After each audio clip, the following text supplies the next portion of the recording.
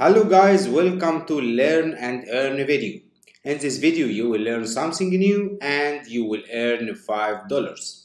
By the end of this video, I will give you a coupon code.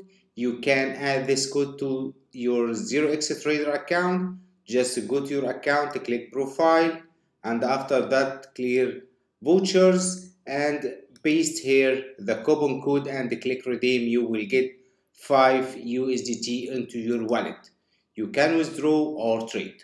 Okay? Let's start learn something new. In this video you will learn how to add custom token to your metamask. Whatever this tokens is yours or someone else how to add a custom token to a metamask. Open metamask.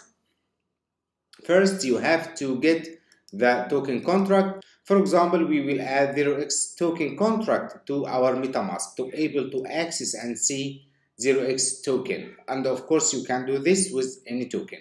Go to the BSC scan token page and here click copy to copy the contract address. This is the contract address of this token, of 0x token. Okay, and open MetaMask.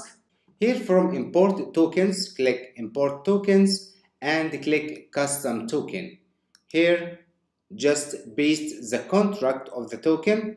You will get here the symbol and the decimal and click next and click import. Now you can see 0x token in your MetaMask. And now the time for earning some money.